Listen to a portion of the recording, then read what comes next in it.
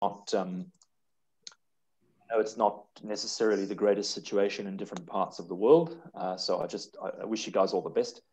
And the second thing I want to say is obviously Yes Education as an agent partner for for TIWA for TAFE International Western Australia. In the grand scheme of things, is a relatively new agent partner, and we haven't really had an opportunity. I certainly haven't really had an opportunity to engage with you guys as much as I would like to have done. Mm-hmm. Uh, and I think I said that last time I met with you all. That's very much to do with COVID. And I think in the lead up to COVID, we were mm-hmm. all just so busy. There was AIEC, there was all, all sorts of things happening. And now, unfortunately, there's COVID. So we can't meet face to face. We can't do expos and things like that. But I would hope that as we start coming out of COVID, we can get some momentum together. Uh, Absolutely. Yes, education. Yeah. So I'm quite excited about that. I think WA has got a lot of opportunity, as has TAFE WA and as has WA government schools. So let's get into it. Uh, any questions, chuck them in the chat box. And Bo, Ivy, just interrupt me anytime you want to, and uh, particularly if audio and um, everything's stuff, good stuff from drops now. out. So you guys can all see that screen? Yes. yes. I think if it's okay, I'm going to turn my video off unless you'd like to see my face at the same time as my beautiful slides. Yeah. My preference would be that you focus on the slides, if that's okay yeah. with you. Mm-hmm. So today I'm going to talk to you, I uh, just want to turn my laser pointer on. You see, normally what I would do is I would normally do individual sessions, one for TAFE, one for WA Government Schools. I'm going to try and combine them all into one for you guys today, which uh, is going to make for quite a lot of information. You know, don't worry if you don't absorb it all. We're here to help. Come to us with questions, particularly around government schools. I know it's a very complicated product, but it is a good product, and we are trying to work with our partners at the Department of Education on simplifying the product, uh, particularly for when uh, the market starts coming back to Australia. So, so stay in touch with us. Uh, we're here to help. But across WA government schools and TAFE International Western Australia and Western Australia generally, just remember we are all about quality, we are all about affordability, and ultimately beyond school and beyond TAFE, and beyond university here, it's about employability, it's about options here and opportunity here in Western Australia. TAFE International Western Australia is the office I am with. We are part of the Department of Training and Workforce Development. Our focus is TAFE. But on behalf of the West Australian Government Department of Education, which is a sister department, on behalf of them, we recruit for WA government schools as well as TAFE Western Australia. And I'm sure you know that already. I just want to make sure of that. Let's have a quick look at Western Australia and Perth, first of all. Ivy's already mentioned around about two and a half million people across the state of uh, Western Australia, and that is uh, about accurate. The vast majority of those live in the city of Perth. About 80 to 90% of that population lives in the city of Perth. So you're talking about a population of about 2 million. That's the city in the background. You know, there are five big cities in uh, Australia. As you probably know, there's uh, Melbourne over here, there's Sydney, uh, there's Brisbane up here, there's Adelaide, and there's Perth. And that's not in any particular order, but those are considered to be the five major cities. And Perth, really, as the capital of Western Australia, I think is a pretty special city across those fives. And hopefully, I can tell you some of the reasons why. Obviously, we're the capital of Australia's largest state, number one. I mentioned affordability already. According to The Economist magazine, Perth is officially Australia's most affordable city. That's a very important point to remember for international students looking to save a dollar. Whether they are coming into Australia after COVID or whether you have students already here in the numerous government and private school systems around Australia who are now coming potentially to the end of their studies and looking to extend their studies in Australia, remember that Perth is the most affordable city in Australia. So if you've got students who are looking to explore their options after school or even after university or after vocational studies in the other parts of Australia, have a think about Western Australia. Lots of opportunity, very affordable. Obviously, one of Australia's most livable cities as well. Uh, in fact, pretty much all five of the major cities here are considered to be one of the world's most livable cities. But we have, as Ivy said earlier on, that regional designation that sets us apart, apart from those other four major cities. So across the five major cities, we are the only one with a regional designation. In terms of flights and time zones, uh, this point here really applies mainly to students uh, coming from uh, other countries, coming into Australia rather than students who are onshore. It's obviously very easy to connect around uh, Australia internally, notwithstanding state border closures with COVID breakouts and things like that.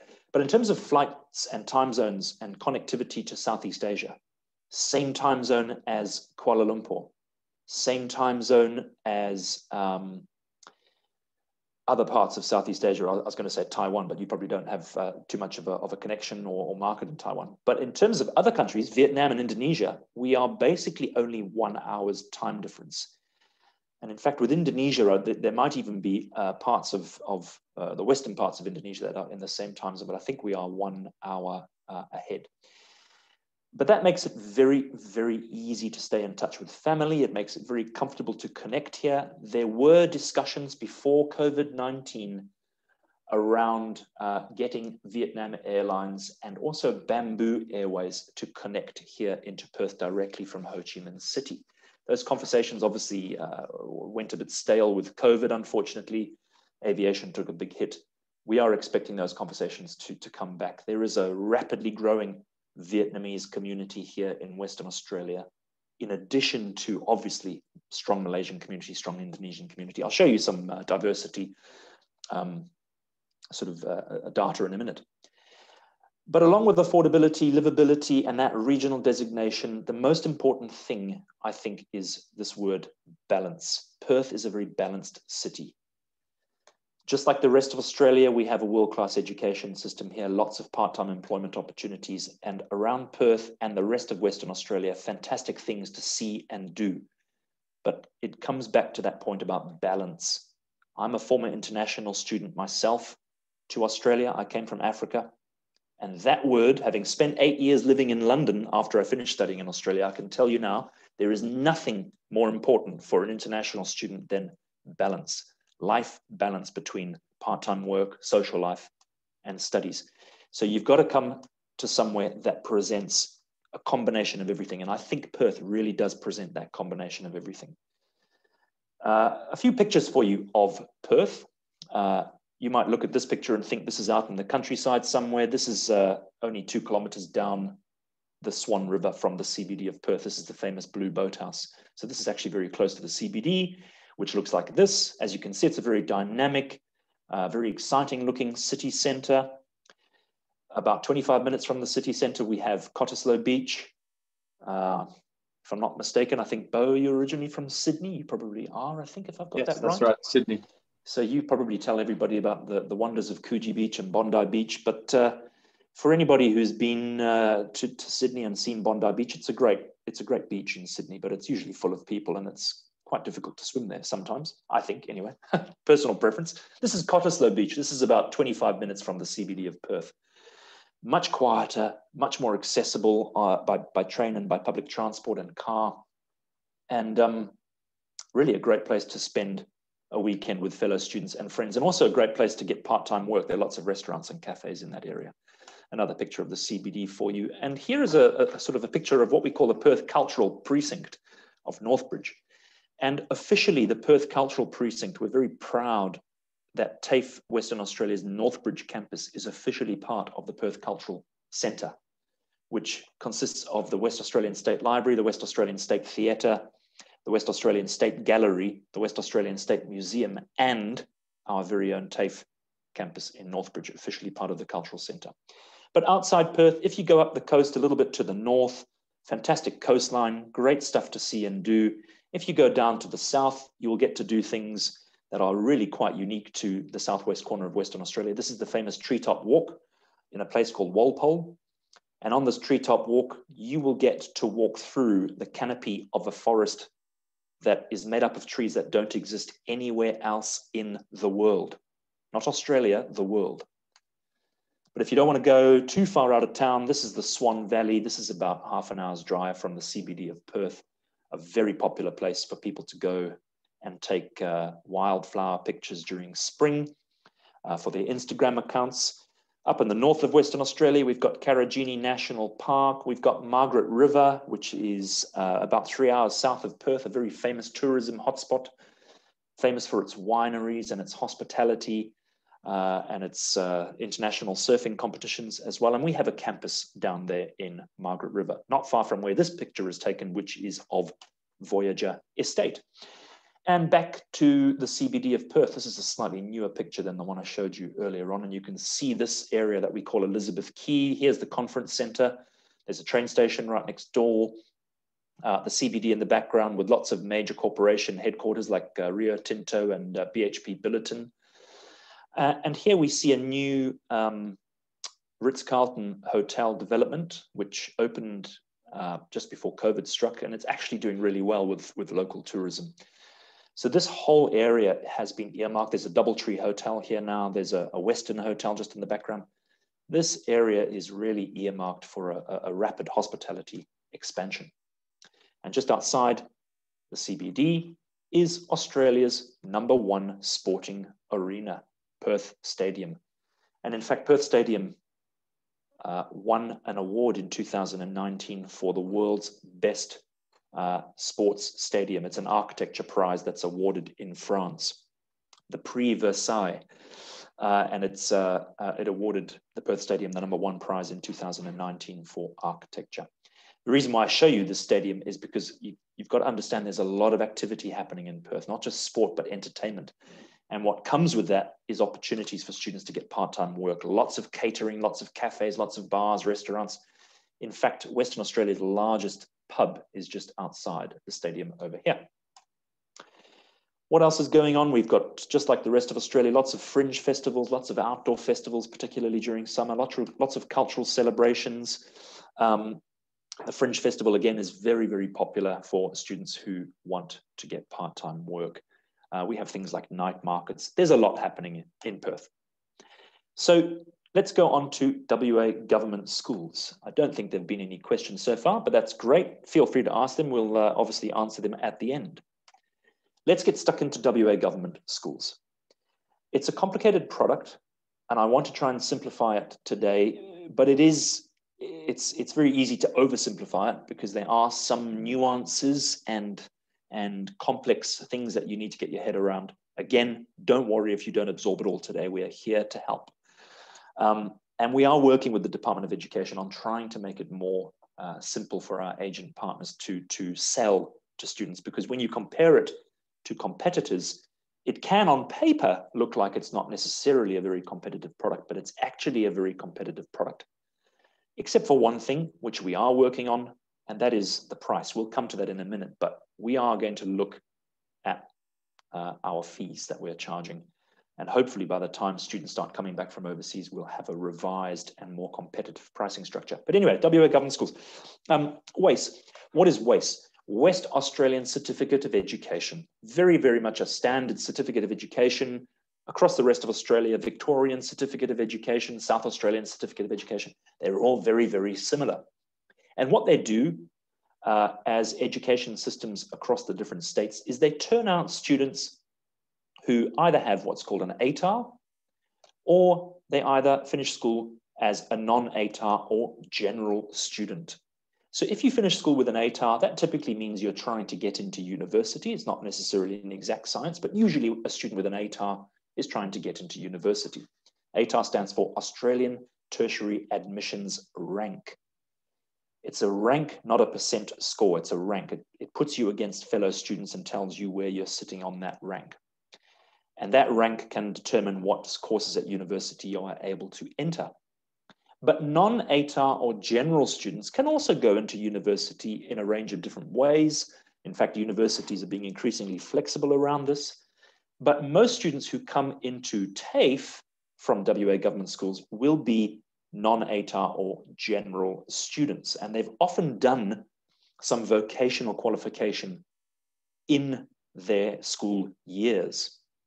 And their school years will basically be uh, 13 years from kindergarten all the way up to year 12, what we call a K to 12 system. Now, most international students won't be coming in kindergarten. They, in the majority, will come around about year nine, sometimes year eight, sometimes year 10, but around about year nine. So primary school is approximately from five years old to 12 years old. It's what we call kindergarten to year six. Secondary school is approximately from 12 years old up to 18 years old. and it's what we call years 7 to 12.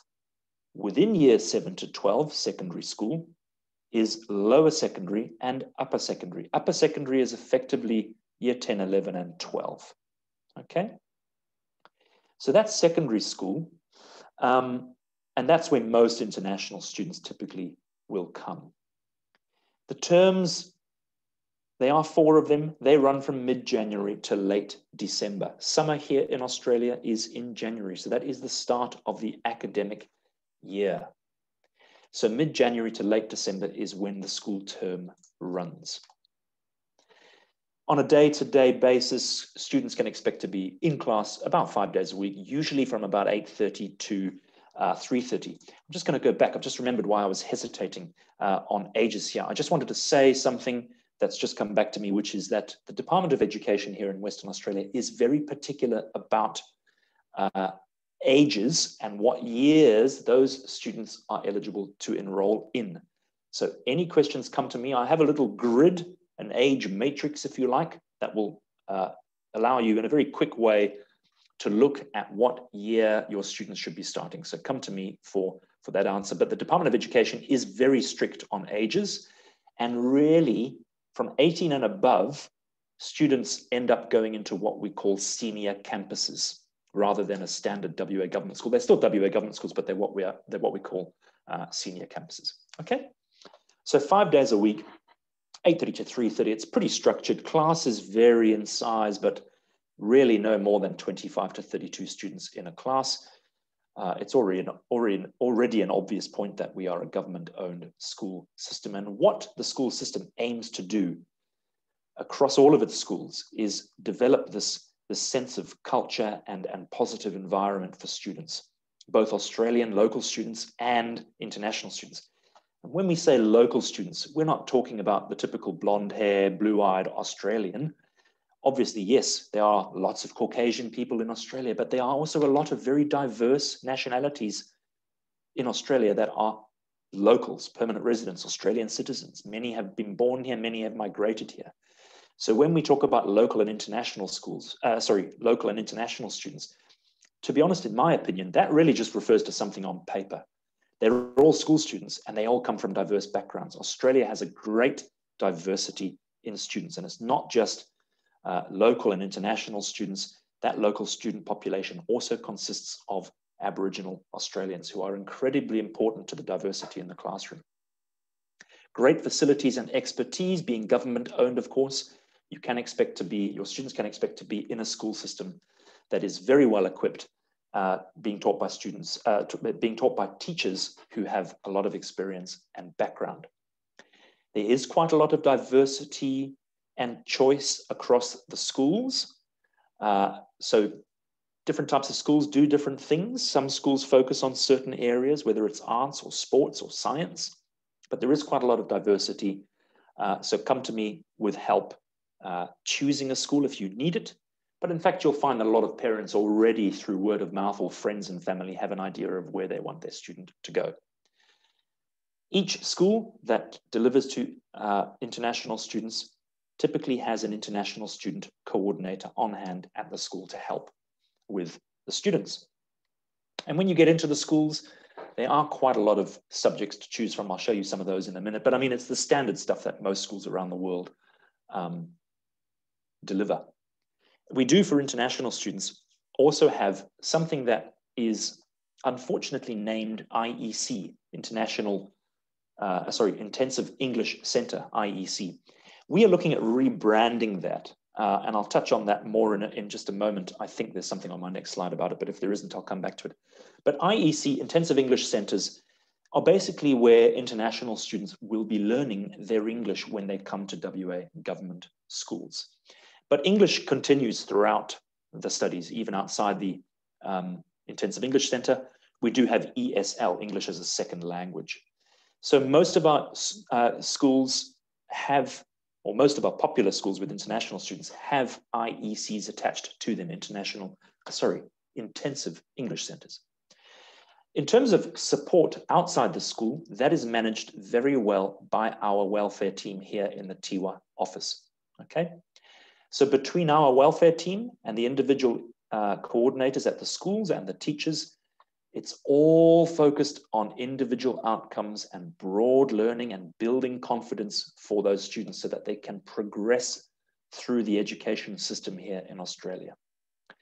And in fact, you'll be glad to know that last year's International Student of the Year in Western Australia was a Vietnamese school student from Kent Street Senior High School fantastic student who I think is on her way to the University of Western Australia on, if I'm not mistaken, a scholarship. Students do need to achieve what's called OLNA in their studies. This is the online literacy and numeracy assessment. It's fairly straightforward and it is, I believe, fairly easy to achieve. Not easy, but, but straightforward to achieve. Most students will achieve it. All students, local and international, have to achieve that to uh, secure their West Australian Certificate of Education. So English, maths, science, humanities, arts, languages, physical education, technology, they are all basically available at all of the schools. But students typically, as they get to the pointy end of their studies, will start focusing on three or four subjects. Some schools focus on what's called STEM, science, technology, engineering, and maths, others on what's called STEMA, which is uh, obviously science, technology, engineering, maths, and arts. Arts is very, very important, increasingly important in a lot of students' lives and in a lot of schools. People are looking for critical thinking, creative thinking. Uh, and when I say people, I'm talking about employers. It's not just a matter of saying, hey, I've got an engineering background. It's also a matter of saying, I can think creatively, I can think critically. And you can only really learn that in the humanities area. So arts and humanities should not be underestimated. Now, back onto intensive English centers. Something I really want to stress here that is very important. There is a perception with some students and parents and, and agent partners that intensive English centers are exclusively English and have to be done before the student can progress with their school studies. And that is not the case. It's very important to note that intensive English centres deliver English tuition together with West Australian Certificate of Education subjects. So it's delivered concurrently or at the same time as the schools, the school students' studies. And those IECs, as rigid as they may appear to be on paper, on an offer, are actually very uh, tailored to students. So sometimes we prescribe 40 weeks, but more often than not, it turns out to be less. And students often transition out of IEC into the mainstream schooling um, in much less than 40 weeks, sometimes 20 weeks. So students are individually assessed when they arrive at the school and uh, a prescribed amount of English can be given to that student that might be different to what was initially offered. Now, we are looking at revising this system. It is what it is at the moment. So typically what you can expect is a blanket prescription of 40 weeks on an offer. But bear in mind that that 40 weeks is going to be taught concurrently with academic subjects. And bear in mind that when the school student starts their studies, a lot of the time that 40 weeks is reduced and the student exits and carries on with mainstream studies. And so obviously the fees for IEC are, are reduced at that point. So it might look like a very fixed, unmovable object before the student starts, but actually behind that, once the, once the student enrolls, is uh, a much more flexible system tailored to meet individual student needs. The process, and I'll show you some of the web pages in just a moment, um, where you can find a lot of information. And of course, as I said, come to me uh, or, come, come through Ivy to me for directions to the different web pages. But the process is quite straightforward. It's basically choose a school, prepare the documents, and apply online. Obviously, within those three steps, there are uh, there are lots of uh, things you need to do and, and lots of work, but that's a that's effectively how simple it is. And as you can see here, that uh, the, by the fees. When a student enrolls into school, if a student is doing IEC uh, in conjunction with their mainstream studies, the fees are a little bit higher. This is the fee over here with English as a second language. But when a student is in IEC, it is a little bit higher, typically about $3,000 more than mainstream studies. So let's say a student comes and joins in January 2022, and they've been given uh, four week, uh, 40 weeks of English on their offer that student basically goes into, let, us use lower secondary here as an example. That student will go into their, let's say, year nine, and they are going to be looking at around about 20,000, uh, just over $20,000 for their, um, their one year of study in year nine. Now, obviously, that doesn't get all paid up front, it gets paid by term. And let's say after two terms, the student reaches a level of English that is adequate and they don't need to be an IEC anymore they will then go on to the mainstream fee. So they don't end up paying any more for the IEC later in the year. They transition directly into the mainstream uh, area. Now, this is all well and good if you have any students enrolling with us uh, anytime this year. But actually, going forward into 2022, I have a feeling, based on what the Department of Education is saying, I have a feeling, and it's quite an exciting feeling, that IEC fees are hopefully, I can't confirm this, but there, there is discussion about this fee basically being removed so that IEC becomes part of the mainstream fee. Okay? I'm hoping. We'll have to see how that goes. Uh, so in other words, whether you are studying mainstream or IEC plus mainstream, it should not matter. You might be and you might be basically paying the same fee. So I'll confirm that when that happens. I'm optimistic that's going to come into place for 2022. One of the great advantages of being a government provider across TAFE and uh, Department of Education, of course, is, is quality of product. But unfortunately, one of the great disadvantages, of course, is the time it takes to respond to market needs. So things like this can take a little bit of time, but just bear with us.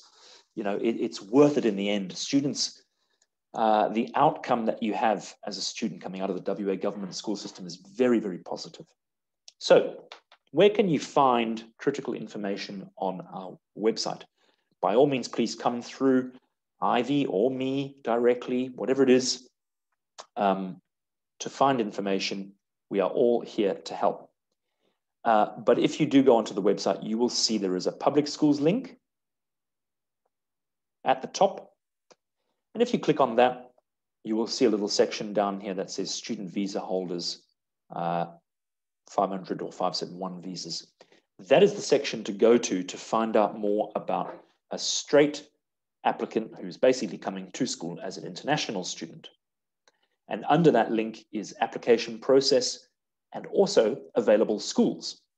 If you clicked on available schools, you will come to a page that tells you what the available primary schools are and what the available secondary schools are. And I can send this list around through Ivy. It's not a problem. You don't have to go and find it. But we have a lot of schools available on the website. And then the question we get asked a lot about is accommodation for school students. So again, if you clicked on public schools, you'd see accommodation. Um,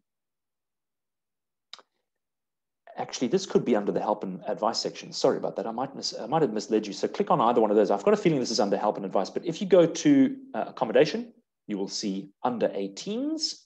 So this little red circle should be around help and advice. Accommodation, under 18s. And this brings us to this page here, which I get asked a lot about, which is accommodation for under 18 students, particularly school students. Now, there are basically three options. Option one is living with a parent in Australia, okay? Or a legal guardian as well. Option two is living in Australia with a blood relative over the age of 21. And that blood relative can be nominated by the parent or legal guardian to be looking after that student. So that's the second option.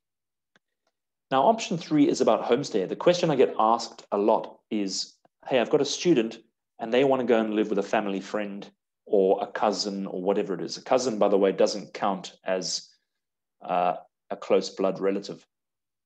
Um, it has to be someone like a, an aunt or an uncle or a brother or a sister. But option three, I get asked a lot. People say, "Oh, can uh, I've got the student? Can they stay with a friend or a you know a distant family member? And the answer is yes, they can, but that friend or cousin or distant family member has to register as part of the Australian Homestay Network. So option three is effectively about Australian Homestay Network. So it can either be someone already on the Australian Homestay Network, which is a very popular choice, an Australian family basically, or it can be someone who registers to be on that Australian Homestay Network specifically for that student. Okay.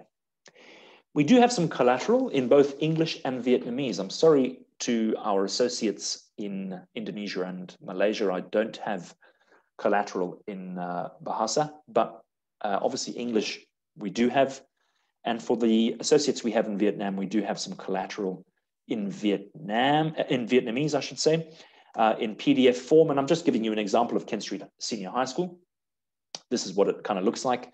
They're basically little PDF flyers. They were designed to be printed um, and disseminated, but obviously we're not in country at the moment, so I'll send them to you electronically. Uh, and hopefully they can be useful for your offices to refer to electronically. Now, we'll just pause there to watch a quick video. Again, this is for our, um, this is for our uh, associates in Vietnam, I'm afraid, because this video is in Vietnamese. And uh, once we have watched it, um, I'll double check on the times with, uh, with Ivy and hopefully we have time to race through the TAFE section. Hopefully this will work. No, it didn't. It went straight back to my initial slide. So I'm going to quickly skim through, or back, I should say, through the TAFE slides and try and play that again.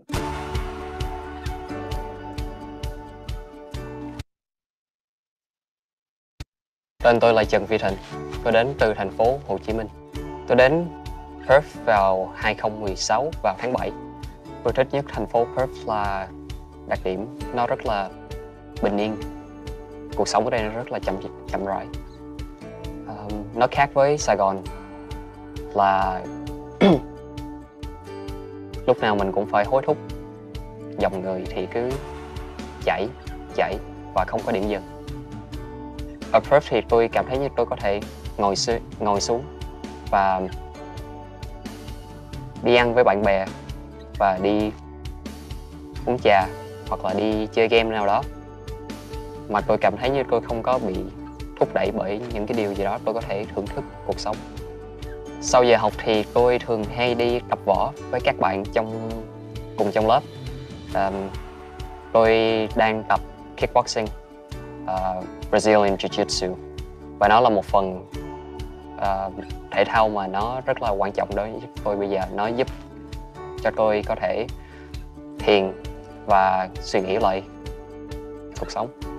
Um, cuối tuần thì tôi thường hay đi ăn với các bạn và tôi thích mì ramen. Một đặc điểm tôi thích nhất ở Mount Dolly là về sự đa dạng và sắc tộc của học sinh và kể cả um, giáo viên ở đây. Giáo viên là một thành phần rất là quan trọng của Mount Lolly um, họ đã giúp tôi có thể phát triển về tri thức và kính người của tôi. Việc đi du học có thể giúp các bạn mở mang đầu óc hơn. Nhiều người sẽ chọn Melbourne hoặc Sydney nhưng Perth là một thành phố chậm rãi và yên bình hơn có thể giúp các bạn có một cuộc sống khác so với những thành phố lớn ở Việt Nam.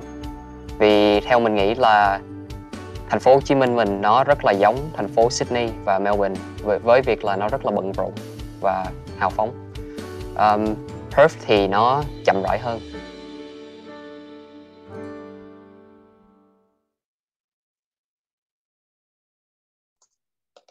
Okay, uh, so hopefully for our associates in Vietnam, that was uh, somewhat interesting. That was a, a student who uh, has since left Mount Lawley Senior High School and moved on to higher education here in Western Australia.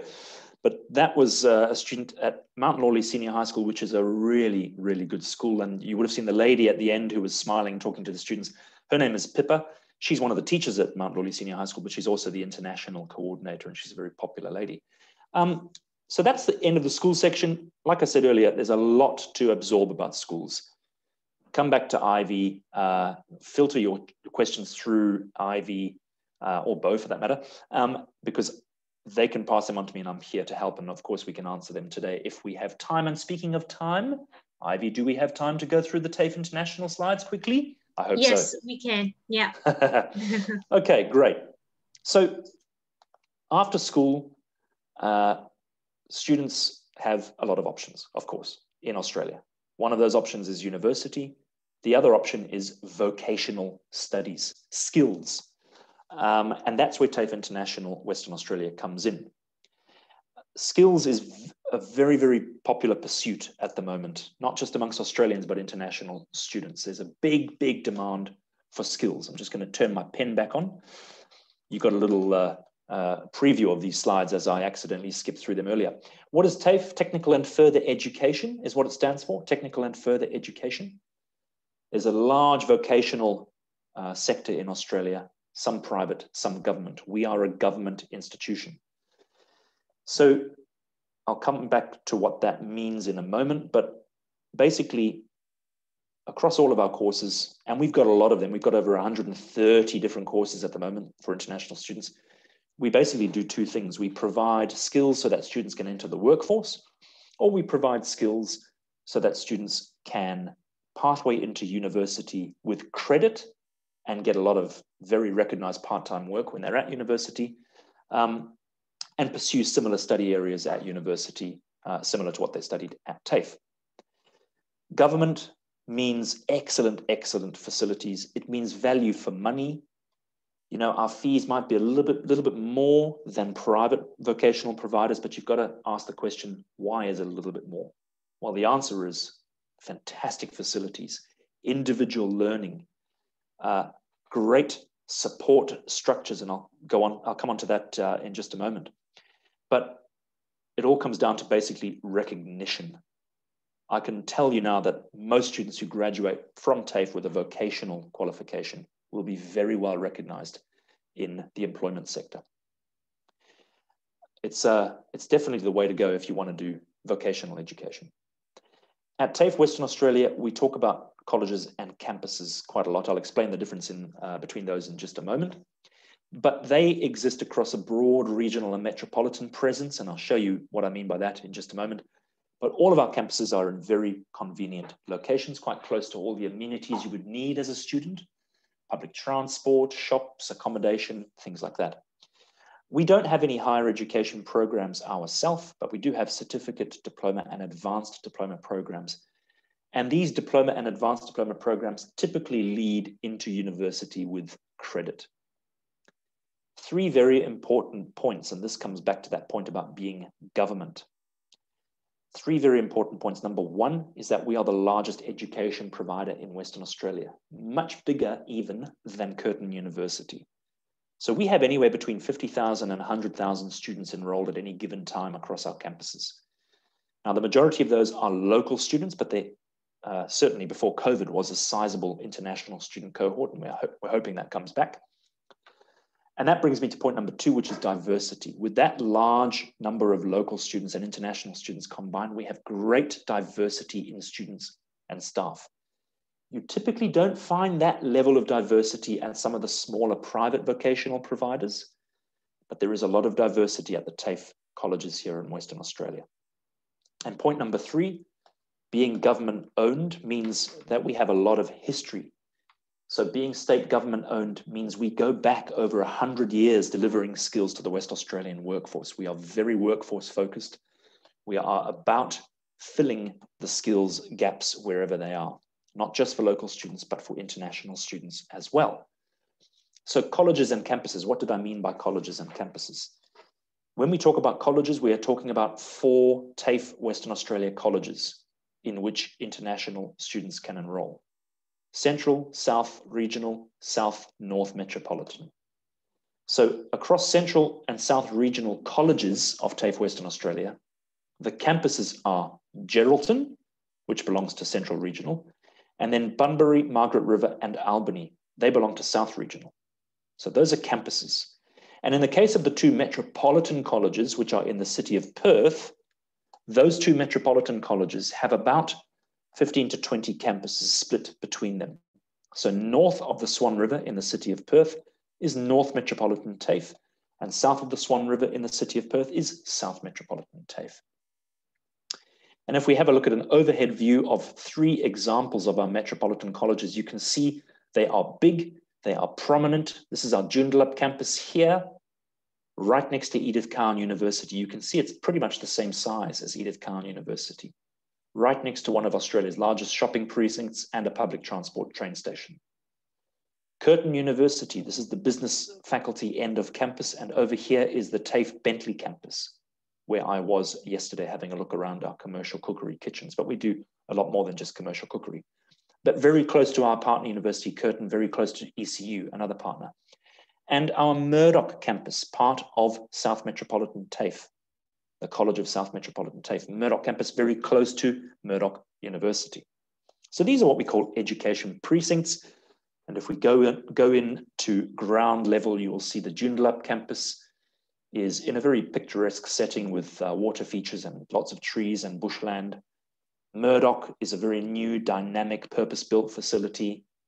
And our very popular Northbridge campus, this is the one that is officially part of the Perth Cultural Centre, right in the CBD, very popular with international students. These are our umbrella course areas. Uh, I'm not going to go into them in great detail, but just cast your eyes over them we teach courses that most vocational providers will teach IT, business, engineering, stuff like that. And we teach it very, very well. We know what we're doing. But we also teach courses that are very unique to TAFE Western Australia maritime, aquaculture, oil and gas, heating, ventilation, and air conditioning. We've got a very unique program offering in some areas. Heating, ventilation, and air conditioning in our engineering program is very, very popular and very much in demand in Southeast Asia and Australia. Oil and gas, aquaculture. You know, aquaculture is about commercial fishing, basically, or fish farming, fish farming in a, in a sustainable way. We had a delegation visit from Bà Rịa Vũng Tàu province uh, down in the south of Vietnam uh, about two years ago. And agreements are being signed with the West Australian government to work on all sorts of agriculture and aquaculture projects down in the south of Vietnam. So a big employment area for any country that has a coastline, aquaculture is rapidly growing as an employment sector and as an industry. Our creative industries suite is second to none. We have some amazing creative industries programs here. We've got IT, we are working on a cybersecurity offering, but to be honest with you, our software development and website development pathways into cyber security degrees with our partner universities are very, very good. We do have some community services, youth work, uh, games and animation is very popular. Nursing, incredibly popular, especially with Vietnamese students coming out of school here in Western Australia. The only hurdle they face is the IELTS requirement, which is an IELTS of seven, no band below seven. And in fact, that's actually more achievable than a lot of international students think if they have come through the school system here in Western Australia. It often comes down to a confidence issue. But there are other tests you can do, occupational English test, Pearson test of English, TOEFL, uh, lots of different uh, options to achieve that uh, English requirement for nursing. But of course, the ever popular area of hospitality, cookery, patisserie. You know, patisserie is one of the highest paid careers uh, in the hospitality sector in Australia. As a patisserie chef at one of the major hotels, uh, you can be earning close to $160,000 a year, Australian dollars. It's an incredible, it's an incredible employment, employment sector. And here in Western Australia, they are crying out for skills and for employees. And on our South Metropolitan TAFE Bentley campus, we actually hold a career fair twice a year where all the major hotel and hospitality chains come to our campus. We don't go to them, they come to us to meet with students and talk about employment opportunities. It's a very, very big fair. And I was just on our Bentley campus yesterday and it was heaving with activity. The restaurant was open, there were students everywhere, the kitchens were humming. Everything is going gangbusters here in Western Australia on the hospitality front. Just very quickly, some of our popular courses. Uh, certificate three in commercial cookery, these are just examples. I'm not going to go through all 130. But certificate three in commercial cookery, it's a one-year program. It's $16,000 for one year. We deliver that currently in five different locations. Diploma of nursing, one and a half years, just under $27,000 for one and a half years of study, three different locations. And that diploma of nursing gives students sometimes over a year of credit, but usually at least a year of credit into Bachelor of Nursing or Bachelor of Science Nursing at our partner universities. Hospitality Management, six month program, engineering, early childhood education and care. These are basically our top 10 courses at the moment. This might look a little different when we come out of uh, COVID, but these are basically our top 10 courses at the moment. Uh, going into um, our second sort of set of five uh, out of the top 10 carpentry, commercial cookery, as you can see, more engineering. We do automotive technology, light vehicle mechanical, and early childhood education and care. The point I want to make here, which is an interesting one, is if you have any students onshore, whether they are at school or university or even at uh, in the vocational sector looking to extend their studies, like I said earlier, send them to Western Australia. Home Affairs is being reasonably flexible with onshore uh, visa renewals for students, even if they're stepping down a level in the qualifications framework. There is a, an amount of flexibility and an understanding that students don't really want to go home. So, uh, you know, talk to us about TAFE courses for your onshore students. Um, a very quick look at our nationality split. You know, between 2012 and 2019, our top 10 nationalities here at TAFE Western Australia look a lot different to how they did uh, last year. And this has probably changed a little bit this year as well. But I think this is going to be more or less the same as we come out of COVID. But we have a great diversity here in TAFE Western Australia. Not one of our nationalities here in our top 10 makes up more than 10%, than 10% of uh, our student cohort. Lots of Latin America, lots of Europe, France as well, Germany, Sweden. We've got a lot of North American students too. And Southeast Asia makes up a very big uh, number of our international students. So good diversity. These are our university partners, Curtin University and Edith Cowan. We do have packaging arrangements with them. We also have articulation arrangements with them. That basically means two different things, but it's very, very similar. A student can package one student visa all the way through TAFE through to the end of the university studies, or they can avail one of our articulation arrangements. And that means they come to TAFE, they graduate, and then they explore their options afterwards. That doesn't have to be with one of these three universities. Most universities around Australia will recognize a TAFE qualification and typically offer credit. The only disadvantage here is having to apply for a second visa after they finish uh, their TAFE studies. So I would just encourage you guys and students to have a look at all the different credit arrangements and credit points to understand what is being offered by the university. It's definitely a student's market on that front. Universities would be uh, clamoring for international students. So, you know, haggle for your students and find the best credit offering. Uh, you can use our online university pathway finder. Again, I can send the link through Ivy later on. It's really just a guide, uh, but always ask us what's available uh, because it's constantly being updated. But things like hospitality management, you know, one year of credit to Bachelor of Commerce at Edith Cowan University, or maybe even one year of credit to a Bachelor of Tourism and Hospitality Management or Bachelor of International Hotel and Resort Management at the same university. And you know, students coming out of year 11 or year 12, whether it's Indonesia, Malaysia, Vietnam, they could come to us, in some examples, they could come to us for just one year of study out of year 11 or 12 one year of study and then enter the second year at the university because they get 120 points. And that's around about $13,000, $14,000. This example is using business as an example. Compared to Edith Cowan University's direct entry or Edith Cowan College entry, much more expensive. And that's only available typically to, to year 12s.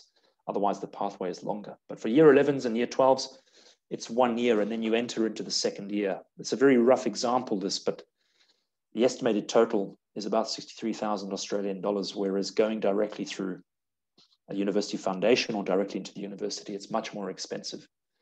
So coming through TAFE, same time, but much cheaper, and you get dual qualifications. That helps with part-time employment in those final two years at university. I am conscious of time, so I'm going to fly through these final slides here. Uh, I talked about value for money earlier on and being a government institution. It's not just about great facilities, it's about class size, it's about being student centered. It's about providing students workplace simulations on campus or giving them supervised work placements off campus. They will always have one of those two. And our facilities are always industry standard. That means we are con constantly updating so that we are matched to industry, whether it's a TV studio or an automotive workshop or a commercial cookery facility. I was just on the Bentley campus yesterday with one of our academics, and they pointed me, uh, they showed me the new um, barista classroom for commercial cookery students and hospitality students. There is a unit where you have to learn how to make coffee. Now, I know you all love your coffee in Vietnam, and we love our coffee here in Perth, and you love your coffee in Indonesia and Malaysia as well. Believe it or not, hospitality students doing that unit in barista uh, techniques have to learn to make 27 different types of coffees. So excellent, excellent tuition uh, and great facilities as well. But beyond that, that value for money applies to the support we provide. We have a lot of support available for students. I mentioned those career fairs we have. That's not exclusive to hospitality. We do that in other areas as well. We have excellent industry connectivity with our lecturers um, and our supervised work placements. So the opportunities are always there for students to make a name for themselves. But the difference between TAFE and private VET is at TAFE, that ability to really excel individually. You're going to be on your own workstation. You're going to have to achieve competency uh, yourself. You're not going to be working in groups where you're watching someone do the task and having to try and remember how to do it. You're going to be doing the task yourself constantly throughout your studies at TAFE. We don't have our own accommodation available, but we do work with different partners, Murdoch and ECU. We have access to their on-campus accommodation. We also use Campus Perth and student housing. This is an example of Edith Cowan um, on-campus accommodation, and this is an example of Murdoch's, Murdoch University's on-campus accommodation. Campus Perth looks a bit like this, and the student housing company looks a bit like this. Very, very modern, very chic, very popular at the moment. I know it's almost uh, well, it is 12 o'clock now here in Perth, 11 o'clock in Vietnam. Ivy, we okay to continue? Uh, yes, I think we can quickly go through uh, the remaining. Yes. And, almost uh, finished. I've only got about two slides left. In fact, I think this might even yeah. be the last slide, and then we have a video. Yeah. Um, a quick COVID update for Western Australia. Again, I hope you're all safe and well and everything's okay in your respective countries. I know things you know, in Malaysia, particularly, uh, it's a bit of a roller coaster ride for you at the moment, and I'm sorry about that. Um, in WA, in Western Australia, we, much like the rest of Australia, have a pretty good handle on COVID. We've only got two active cases at the moment in, in the two and a half million people we have here. And they are both in hotel quarantine. Um, over the last seven days, this line of numbers down here, we've only had, um, well, those two active cases have been returning travelers, but otherwise nothing. There's no community transmission, which is what we call a local case. Uh, and we're obviously working on our COVID 19 vaccine rollout, uh, just over 50,000 people fully vaccinated. It's going a little bit slowly here in Australia, but we'll get there. There is a bit of an issue with Victoria. Uh, they have a bit of a roller coaster with COVID, and, and borders are closed again, I think, between Western Australia and the state of Victoria. So interstate travel is on and off at the moment, but here in Western Australia, very low risk, very very few restrictions in place. I'm in the office, everyone's back in back in business. Uh, Ivy, a quick video, or would you like me to send the video around afterwards? Uh, I think we can play it, and then we jump to uh, the Q and A. Sure.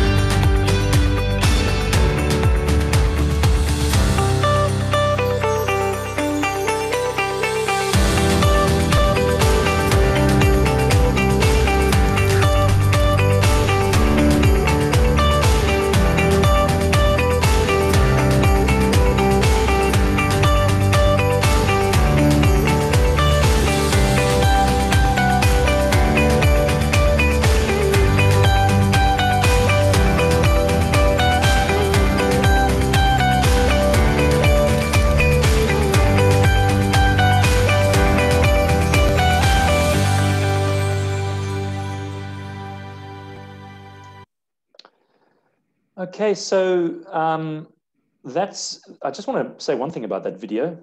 Everything you saw in there was, uh, was from a TAFE campus. So I know that's probably obvious in some of those clips, um, but things like the guy doing horticulture, all those plants, that's our horticulture facility on the Murdoch campus. The oil and gas plant, the guy you saw in his uh, fluorescent yellow jacket turning that big wheel, that oil and gas plant is actually on our campus.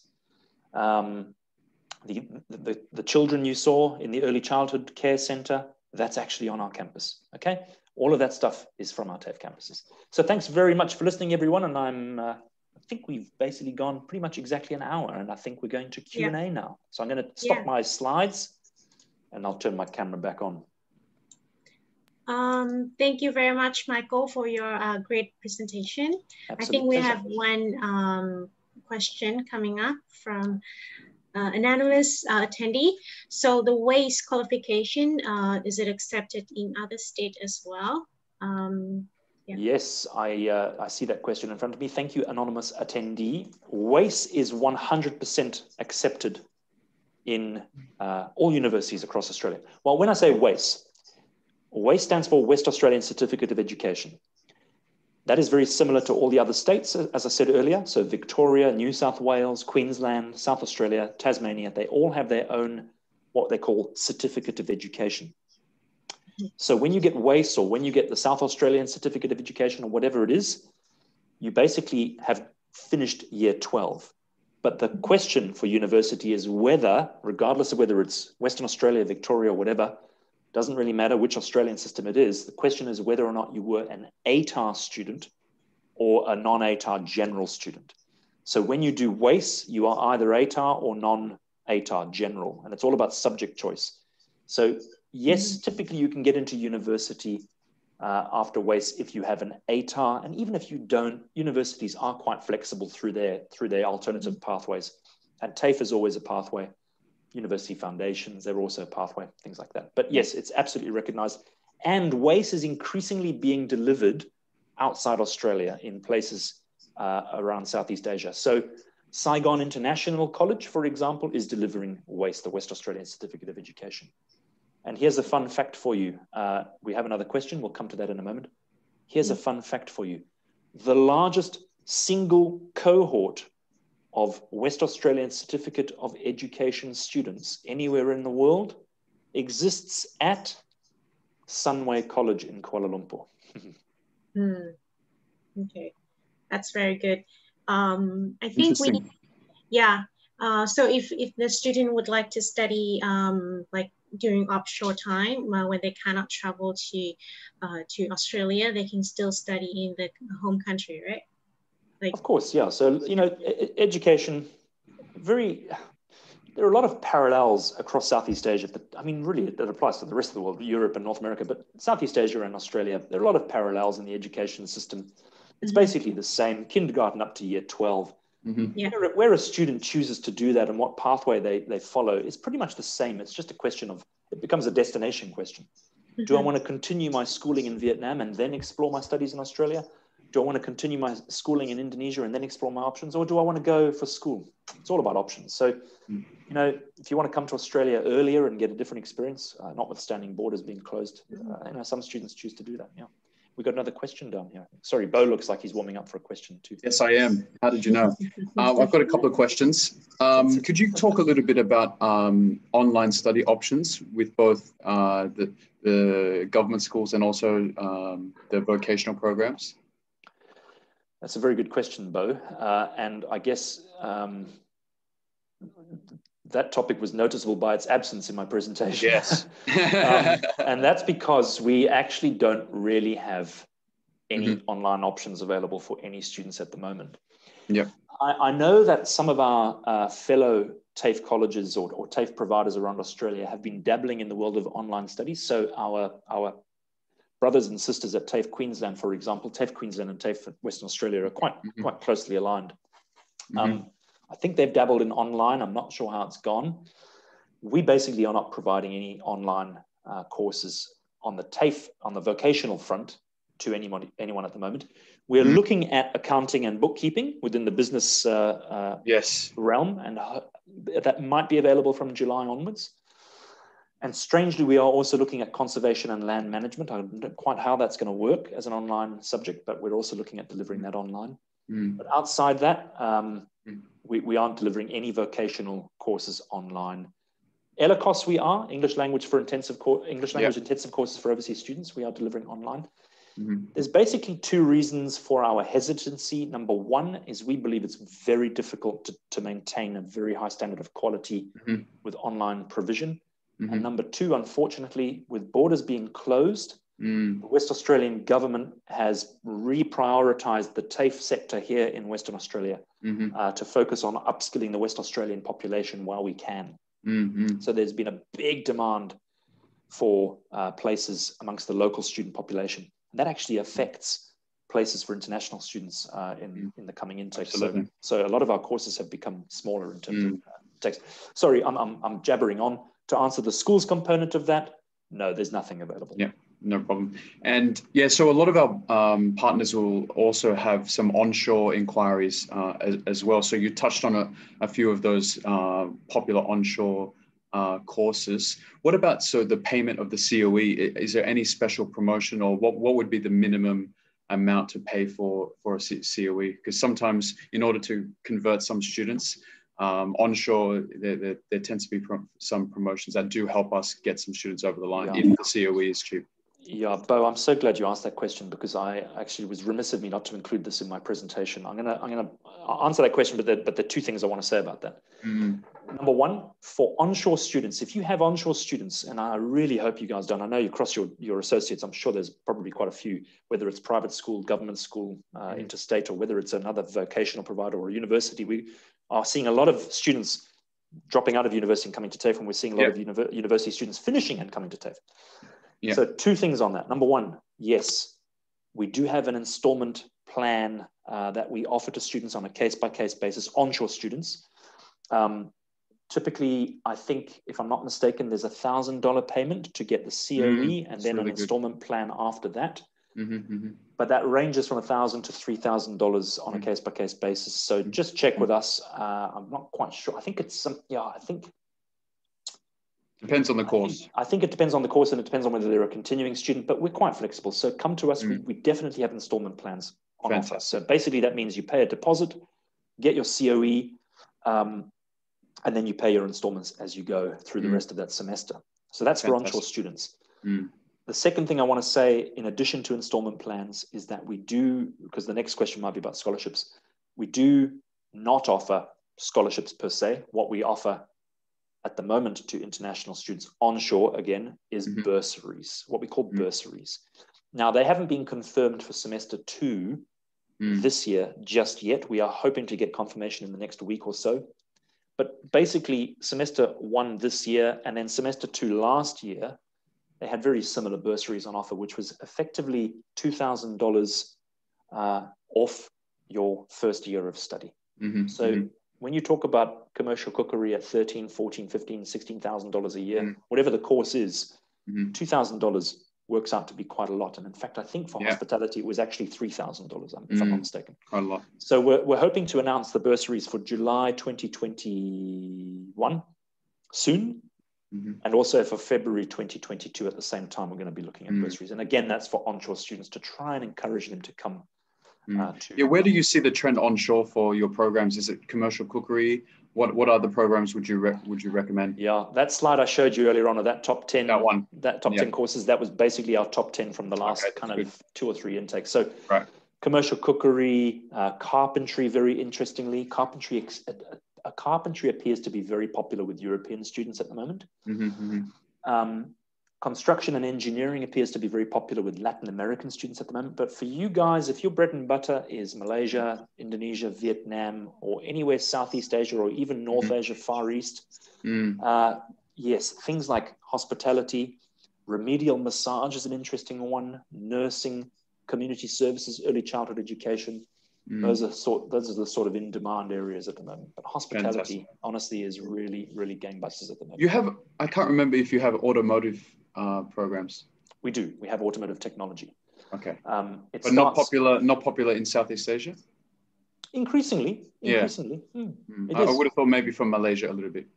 Maybe. Absolutely, absolutely with Malaysia. It's on there, and so is business and engineering, quite generic with, with Mhm. Malaysia. Business and engineering has always been very popular. But automotive, you might have not seen it because I raced through that top 10 slide. Automotive was in there. It was there, Uh, okay. It was, it was in there.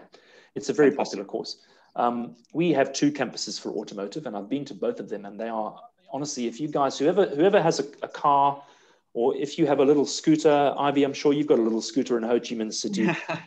I don't know how often you service it, but let me tell you something. You know, you go to you go to a service garage to go and service your scooter or your car, and there's a guy with greasy hands, and there's just a mess everywhere and tools everywhere.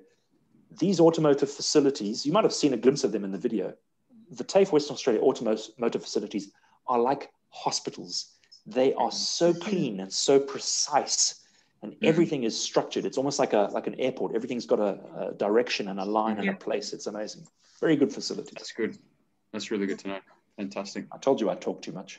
no, no, that's good. Sorry. No, Yeah. it's really it's good to hear Um, those details. Yes, yes. So coming back to like uh, government school sector, uh, you mentioned that there's uh, a strict uh, in terms of like uh, the age uh, of the student. So uh, because due to the COVID nineteen, uh, not a lot of students can can travel except when they have uh, when when they have like the travel exemption. Uh, Mhm. I mean, like not all the students can meet the requirement. So uh, for those students that's studying uh, in Vietnam or like waiting during this time, if they are uh, over 18 years old, uh, can can we still apply for um, for, government school? Uh, like I know um, year 11 is as the latest one that they, they can come, right? Yeah, you know, you can apply for government school Mhm. regardless of age. You're either going to be age appropriate to go into a mainstream government school, or you're going to be age appropriate to go into one of our senior campuses. So we've got uh, North Lake Senior Campus, Mhm. Cyril Jackson Senior Campus, and there's one other, I can't quite remember its name. There's also Canning College, by the way. Mm. Canning College is also part of the Department of Education. Mhm, mhm, Uh, they, they are what we call an independent public school, but also very popular with international students. So, yeah, I mean, a student doesn't need to stress. Basically, a student working their way through school in their home country, their option is, unfortunately with COVID, their option is to finish school in their home country and then come into Mhm. either TAFE or university when they Mhm. get to Australia. Or if the borders open and they are still going through school, they either come here to do uh, a mainstream year nine, year 10, year 11, or whatever it is, or if they are slightly too old, they just go into Cyril Jackson Senior Campus or North Lake Mm. Senior Campus. mhm. Um, they go wherever they are age appropriate, Yeah. but rest assured there's always going to be a place. But I'm assuming that most students are not going to be sitting there in, let's say, year 11 right now in Ho Chi Minh City Yeah. and say, you know what, I'm going to stop school for a year and then No. I'm going to carry on.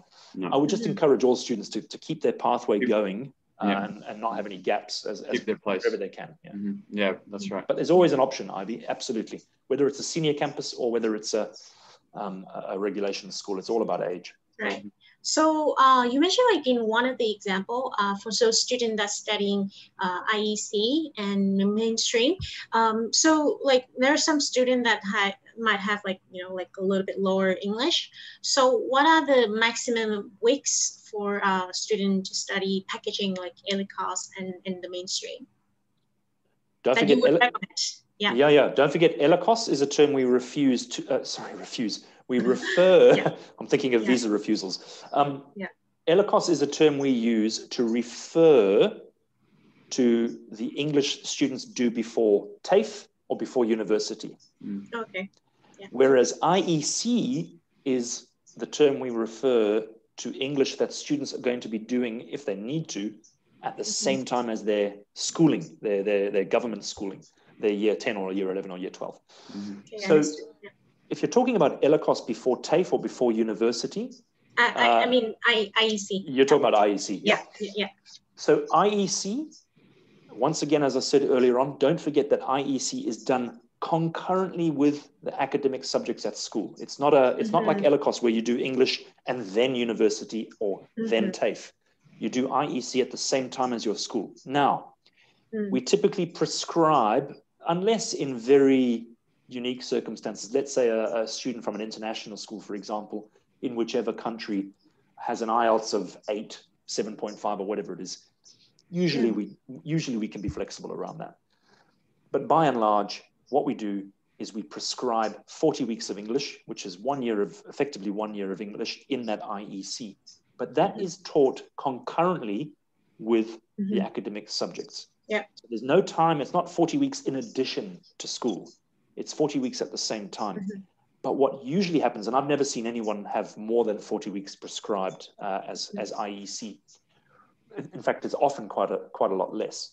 But what usually mm-hmm. happens is whether it's less or whether it's 40 weeks, it doesn't really matter. What usually happens is students enter school, and as they progress through that IEC, their English gets to a certain level, and then the school says, That's it, you don't need to be an IEC anymore. We are very fair to international students. We don't make them pay more for IEC if they don't need it. They get tested and assessed on an ongoing basis. And then it's a matter of saying, Hey, uh, young lady or young man, um, you know, your English is good enough to, to, to leave the IEC and focus on your mainstream studies. Mm-hmm. So tell your mum and dad they don't need to be paying for IEC anymore. Mm-hmm. That's that's really good. Yeah, the student doesn't have to waste any time, like other than studying together uh, the mainstream and, and English at the same time. Yeah. So um, yeah, I think that's that's pretty much it for uh, from me. Uh, Bo, yeah. do you have any other question? No, that's it. I think that's good. And um, yeah very detailed uh, presentation from Michael. Eh? yes, well, very fruitful today, and I hope everyone today across our different regions got a great experience out of today and has a better understanding of um, TIWA and Western Australia in general as well. So don't forget to get in, t- in touch with me and Ivy or your local member in your country for more information. Yes, please, guys. Thank you very much. Thanks very much to Yes Education for Thank being you, uh, for yes. being you know when I say quite new supporters, I know you've you've been an agent of ours for uh, quite a few years now, um, and certainly one with uh, broad reach and uh, a level of enthusiasm I have not seen from many other partners. I got to tell you. So thanks very much. Great. Um, Thank you very much. Support guys, and hopefully get to see you in person uh, soon. Yeah. hopefully, yes. yes. All right, and thanks for your support too, and we'll be in touch with you if, if we need any Always more. Always stay in touch with any help. Great. Thanks yeah. a lot to everybody okay, who attended. Thank you, thank you everyone. Very good. Bye. Bye bye. Cheers. Bye, everybody. Stay safe. Bye bye. You too. Bye bye.